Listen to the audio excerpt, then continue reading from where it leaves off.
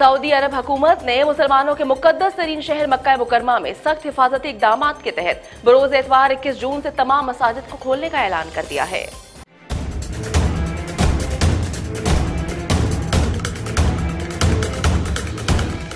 ये तमाम मसाजिद corona virus की वबा के फैलाव के बायस गुजशत तीन माह से बंद पड़ी थी। सऊदी वजारत मजहबी उमूर ने जुमे को जारी एक बयान में कहा है की मसाजिद को दोबारा खोलने के लिए एहतियाती इकदाम उठाए जाएँगे। जिनमें इस बात को यकीनी बनाया जाएगा की जाए नमाज़ को सिर्फ़ एक बार ही इस्तेमाल किया जाए और नमाजी एक दूसरे से महफूज फासला भी रखें।